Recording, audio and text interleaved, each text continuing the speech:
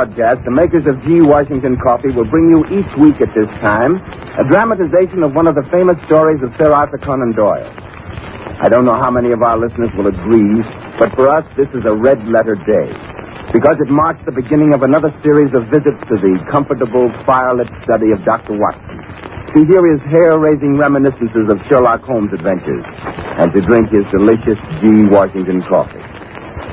Dr. Watson was not with us last winter because he was taking what he called his sabbatical year.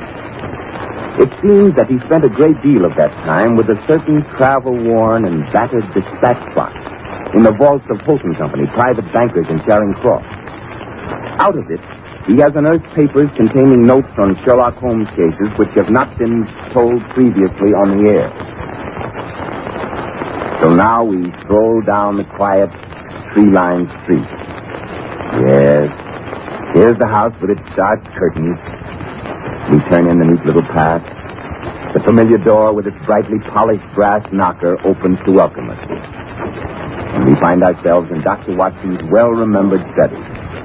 Easy chairs, the rows of worn books, the kettle steaming cozily on the hearth. Everything just the same. Even the old doctor?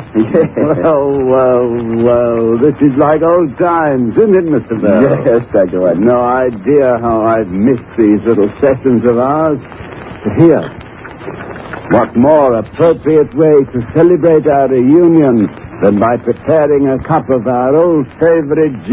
Washington coffee? That's what I've been looking forward to, Dr. Watson. Ah, I see you have everything ready to make it. No, it was very easy. The only preparation necessary was to heat the water. Then I'll take the lid off the can. Mm-hmm. A teaspoonful of G. Washington's coffee crystals in your cup, and one in mine.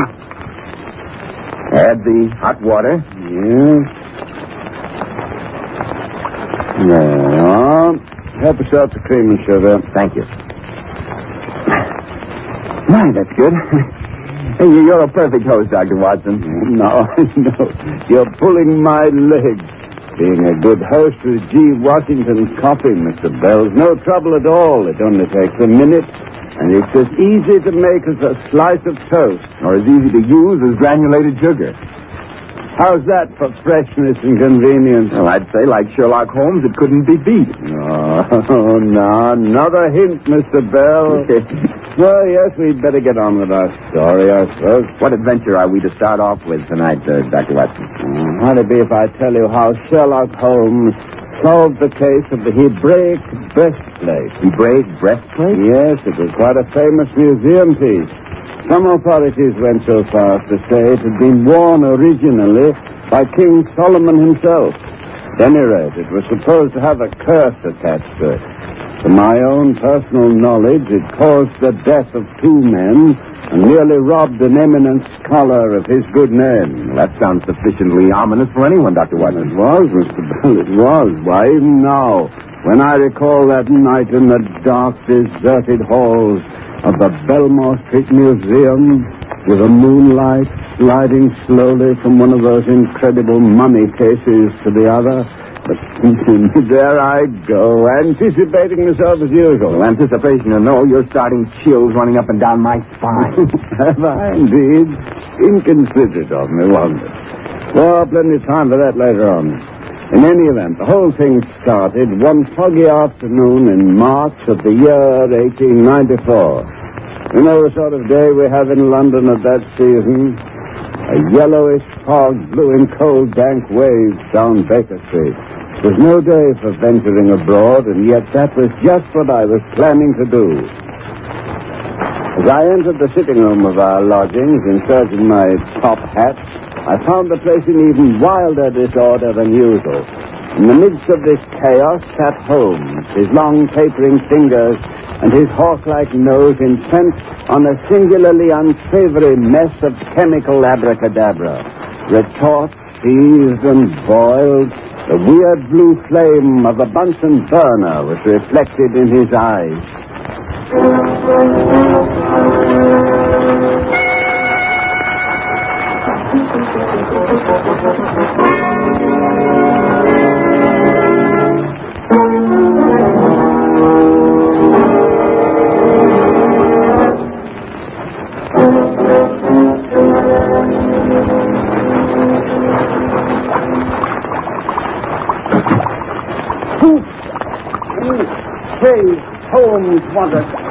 Quiet, Watson. Absolute quiet. Don't move. Don't breathe.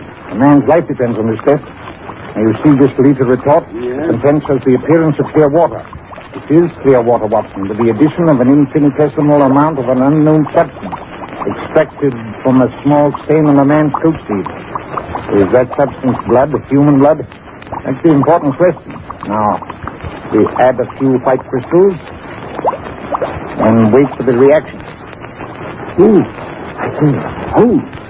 The water's changing color. It's turned a dull mahogany. Yes, and there's a distinct brownish dust precipitated at the bottom of the retort. Magnificent. Positively magnificent, Watson. The old Guaiacum and microscopic test for the blood corpuscles was clumsy and uncertain.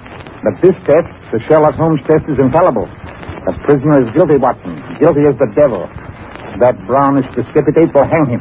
Holmes, you know, your scientific cold-bloodedness gives me the creeps. Ah, nonsense, Watson, nonsense. You wouldn't hesitate to shoot down a hawk that had been preying on your livestock, would you? Why hesitate to destroy the criminal who's been fattening on the blood of human beings? Must you be so graphic in your descriptions, Holmes? Where's my hat? What hat? My top hat, of course. I left it in here when I came in from visiting my patients this morning. How anyone can expect to find anything in all this litter... And, uh, Watson, if you can't keep track of your own wearing apparel, I'm sure that I can. Oh, uh, the, uh, that wouldn't be it by any chance. Where? Uh, there, on the floor by the desk. Oh, I say, Holmes, you've used it as a wastepaper Oh, basket sorry, again. Watson, sorry, but if you will leave it about. Oh, what would you want with a hat this late in the afternoon? Surely you're not thinking of venturing out into this foul weather? I am. I most certainly am. Furthermore, it may interest you to know that since you've become involved in this Seapoff case, the house has smelled like a cross between a crate of distinctly senile eggs and a bear pit. The weather may be foul, but it's not as foul as the atmosphere of this room. Hmm, no idea, no idea you were so delicate. Besides, I've just received an invitation from my friend Ward Mortimer to go round to the Belmore Street Museum and view the collection. Indeed. Mortimer's about to take over the curatorship, I believe. And what's become of the old curator, Professor Andrews? He can't be much over 55, and the reputation of his management and lecture courses was excellent. And he turned in his resignation at the last meeting of the Board of Trustees, I believe. Yes, yes, but for what reason? Oh, something about failing eyesight. Felt they should have a younger man in charge of such a valuable collection. Promised to accompany Mr. Mortimer on his first tour of inspection this afternoon. They say the professor's a wonder. That's why I'm particularly anxious to go. Ah, so now Ward Mortimer is trying to fill the professor's shoes, huh? I thought he was still excavating near Thebes in the Valley of the Kings. Oh, no. After Mortimer exhumed what's believed to be the mummy of Cleopatra in the inner room of the Temple of Horus at Philae, he decided to come home. Ah, so he found it, did he? Yes, I thought he might. Watson, I think I'll join you in your visit to the Belmore Street Museum. But look here, Holmes, you weren't invited. No matter, Watson, no matter. Ward Mortimer will be delighted to see me. It was I who suggested to him that he should dig at Philae for Cleopatra's remains. Besides, uh, now that you mention it, the, the air in this room is a bit tainted. Yes, it might be as well to go elsewhere until the uh, aroma clears away.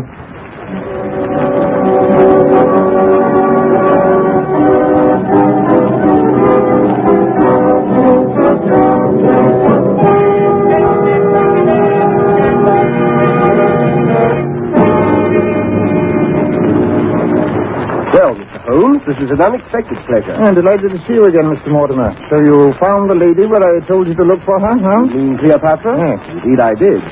But how in the world you knew she was there is beyond me. No, I keep telling him he's lucky he wasn't born a few centuries back. He'd have been burned for witchcraft. Ah, nonsense, Watson, nonsense. The whole matter was extremely simple. Merely the correct interpretation of an old papyrus that has never been correctly translated before. So that's beside the point. I believe we're here to see the treasures of the museum. Of course. I'm a very neglectful host, I'm afraid. I don't believe you met Professor Andrews.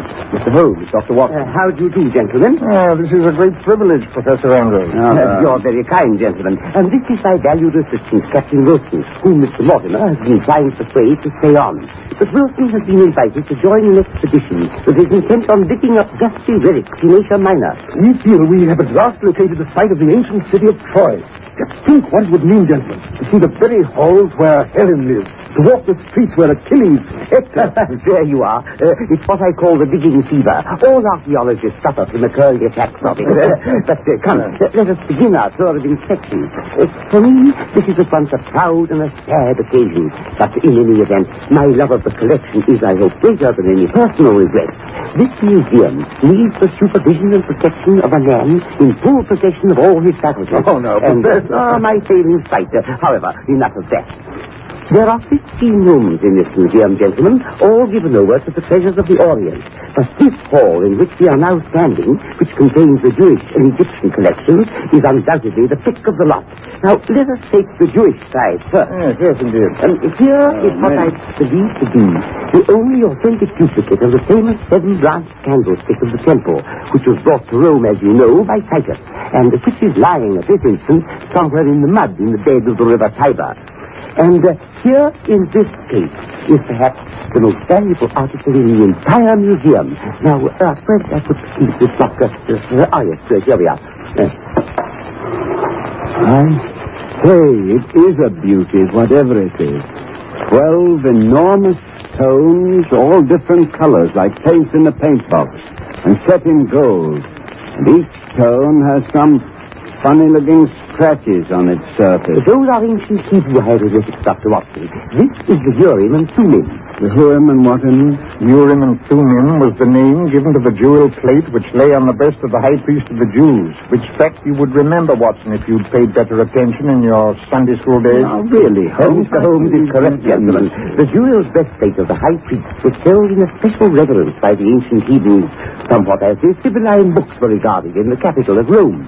This particular and Thummim is the most magnificent in existence. In fact, uh, I believe I'm correct in saying that it belonged originally to Solomon himself.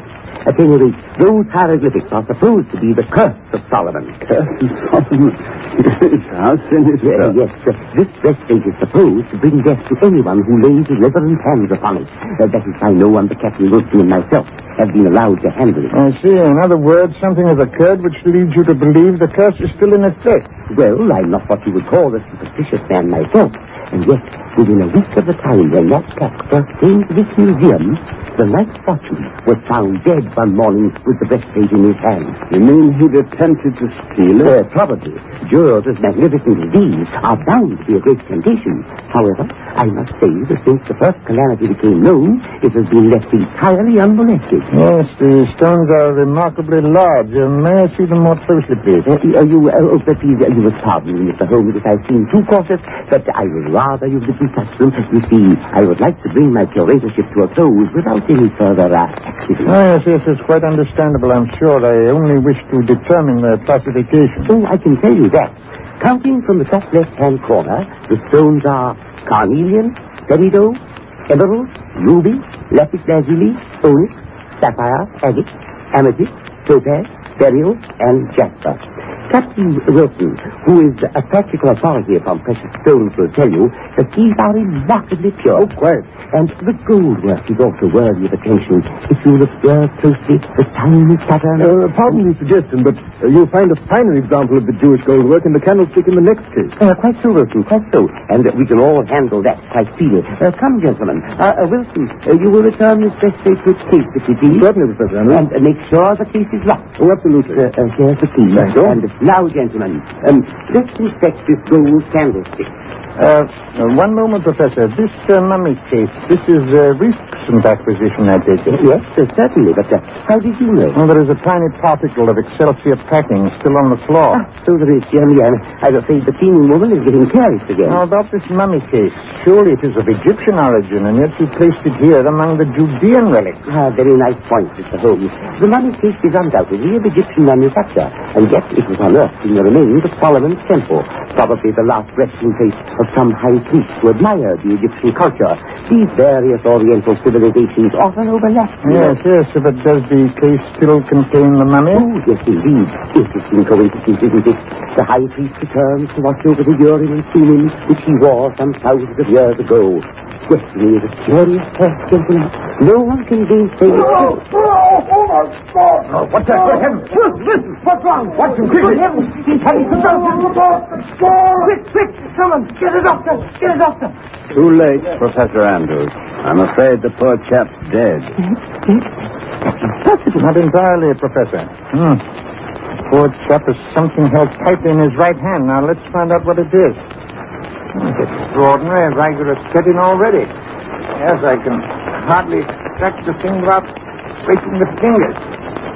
Yes, yes, yes, just as I thought. It's the Jewish breastplate. For the love of heaven, give it to me before something happens to you. Oh, calm yourself, Professor. The curse has spent itself, at least for the time being. That breastplate. I wish I'd never laid eyes on the accursed thing. Poor Wilson. What a horrible end to my term of office. Professor Andrews, Wilson's death, if I am not greatly mistaken, is not an end to anything. It's just the beginning.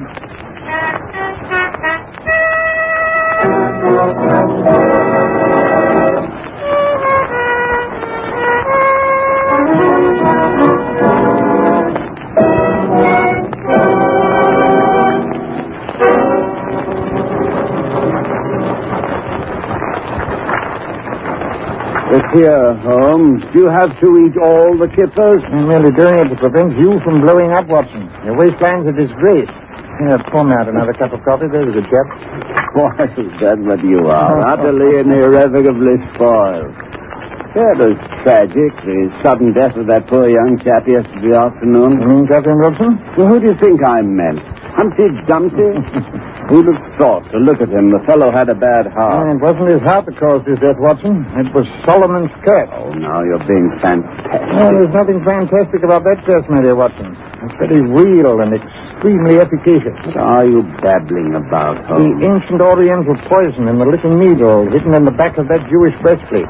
No, the ancient orientals knew a great deal more about poisons than we do, thank heaven. You mean Captain Wilson was poisoned? Oh, what do you think? You saw the tetanic convulsions, the extreme post-mortem rigor? Jove, you may be right at that. Maybe, I am right. Wilson was killed by the jolly little mechanism hidden at the back of the breastplate.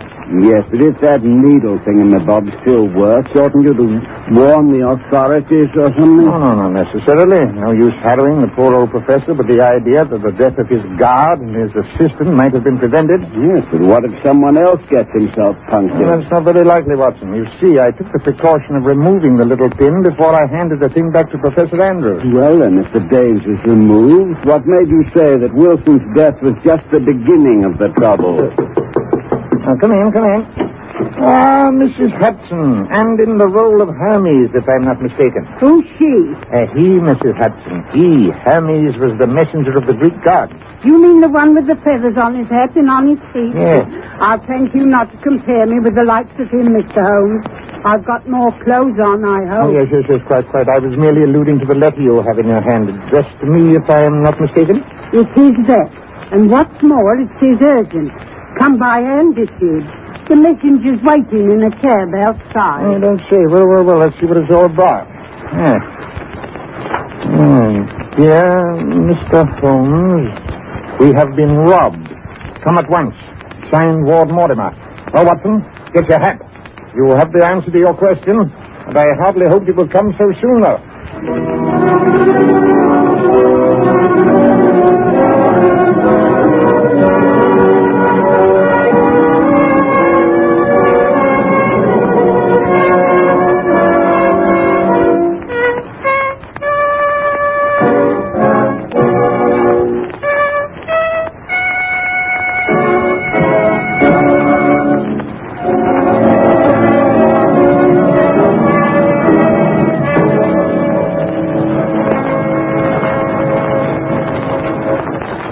As you can see, Mr. Holmes, the breastplate has been tampered with.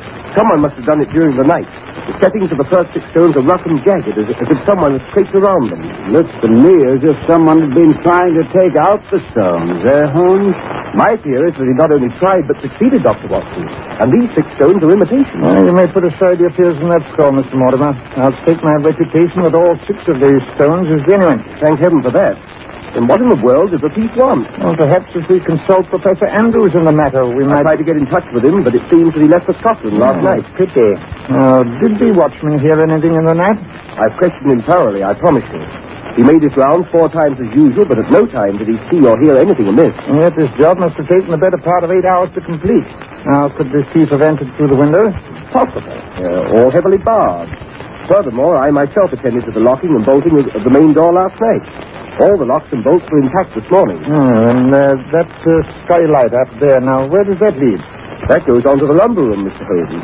But it's remained unopened for years, as you can see by the dust on it. Well, uh, what other openings are there to the museum? There's a door to my private room, but even that is locked at night, and in order to reach it, anyone from the street would have to open my outer door as well. And neither you nor the watchman heard anything. Not a thing. Significant. Very significant. Yes, Watson, I think a night spent in the lumber room upstairs is indicated. The work is not finished. Six of the stones remain untouched. And I'm very anxious to see the intruder who can slide through a locked door and who is completely invisible to your night watchman, Mr. Mortimer.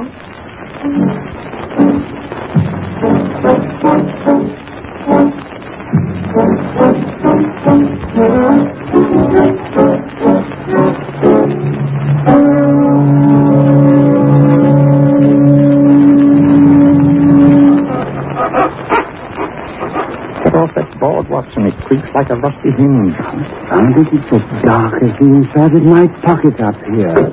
Ooh! Mm, It's all I've stumbled over something. That, if I'm not mistaken, is the skylight we've discovered. Yes, sir. Yes, I can feel the glass. It's so covered with dust you can't see a thing.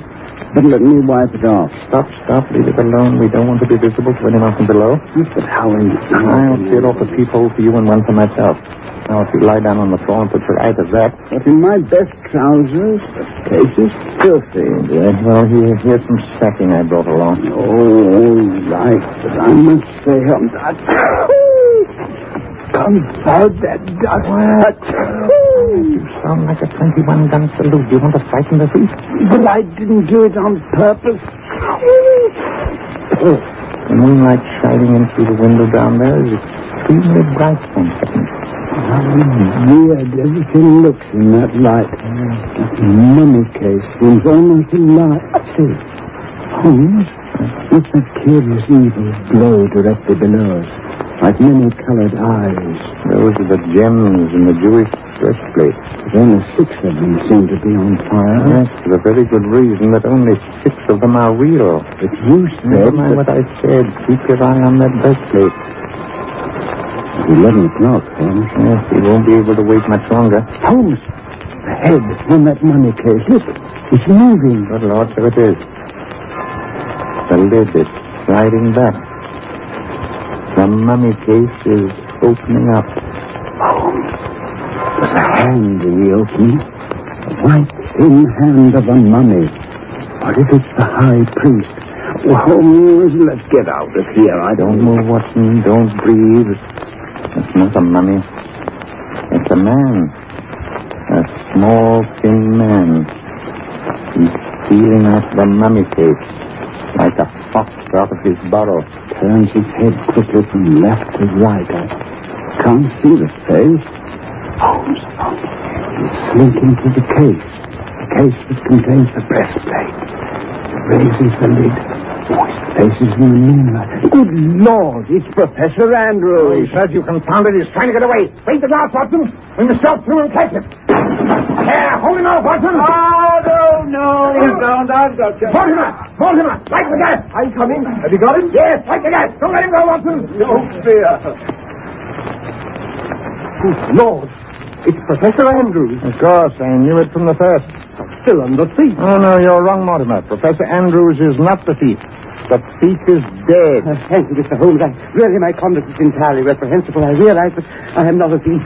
In fact, I didn't realize the jewels had been stolen until I found them in Captain Wilson's effects after his death. Yes, I knew they were false when I saw them yesterday afternoon, Professor. I didn't want to spoil your last day in office. Oh, that was very kind of you, Mr. Holmes. When Wilson stole them, I don't know. You see, my eyesight has been failing for some time, and although I used to be a very good judge of precious stones, Yes, but Holmes, you told me yourself this morning that those jewels were real. Only the first six, my dear Mortimer. Only the first six. Professor Andrews replaced those last night. Unfortunately, his handiwork was not as neat as Wilson's had been. Due probably to his failing eyesight, and you were able to detect it. Yes, but Professor Andrews, when you found the jewels, why didn't you inform the police? What good would that have done? It, would- it would have discredited my whole regime. And back in the name of Captain Wilson. No, surely he's paid the punishment of his crime.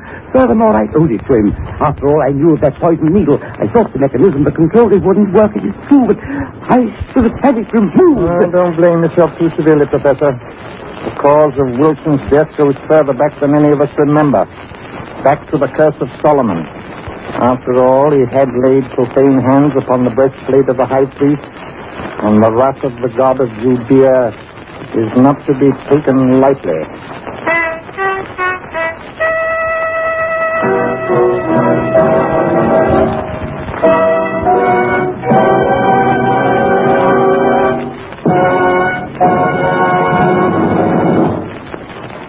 Remarkable story, Dr. Watson.